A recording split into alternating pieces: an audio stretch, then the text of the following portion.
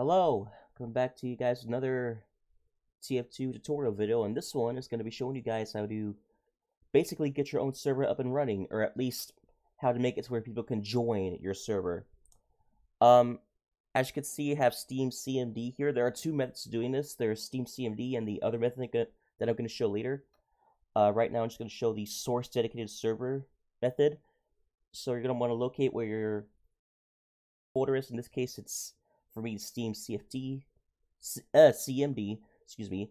And then, uh, then you're going to want to locate your start.bat. This whole thing is a little complicated to get up and running, so I'm going to link it to a video instead because I don't want to have to go through all the process of, you know, doing that and waiting for everything to get up. So, but yeah, then you want to right click on start.bat, open up edit. And a lot of these options, they're, this one's not important. These are, again, the link to the video will be in the description, but this one, this is the most important. Enable fake IP, dash enable fake, fake IP to be more specific.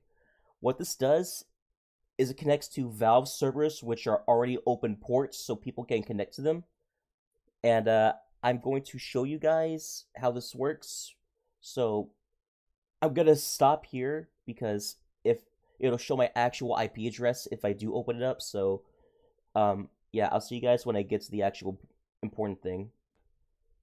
Okay, so now that we are where we are, it should, as you can see, the fake IP allocation has been succeeded. And this is more important.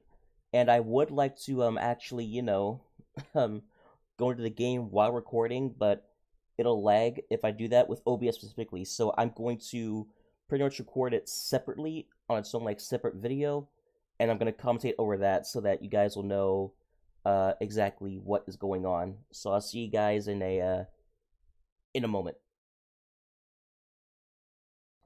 This is like my third or fourth time re-recording this. Um, the first time, like parts two and three were a little. Well, no, part two it ran flawlessly, but the uh, micro the mic quality was garbage for some reason. The third part just corrupted. But here I am showing that my server is in server browser.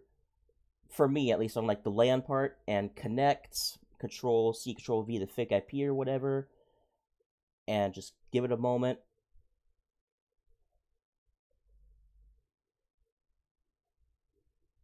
And yeah, as you can see, it is connecting. It says VAC secure right there.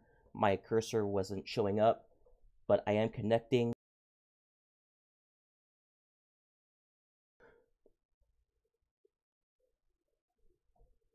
But yeah, as you can see, it is working. And let me just skip ahead here. Um, I'm showing off that I am the admin, that these, that these, that I do have access to these admin commands, yada yada, all that. all that fucking bullshit. Uh man, I'm starting to go fucking crazy with the amount of times I had to re-record this section. But yeah, um, this is me just showing it off, messing around.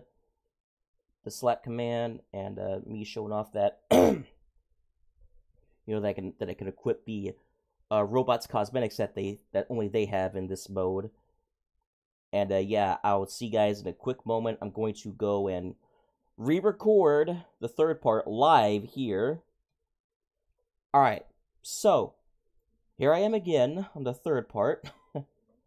uh, it's a lot more simple than the Steam CMD thing, so what you want to do is you want to right-click TF2, Properties, in your launch options here. A lot of this stuff isn't important, but uh, if I go over here, enable fake IP, but this is your launch options the exact same way it should work exactly the same. You just gotta open up the console to see it. And uh, the first time you connect, it won't show the um, it won't connect the item servers, but there is a workaround for this. So I'm just gonna open up a fucking text document, and if I maximize it, you type in connect x uh, semicolon disconnect, and then you type in map insert map name here. That's pretty much how you do it.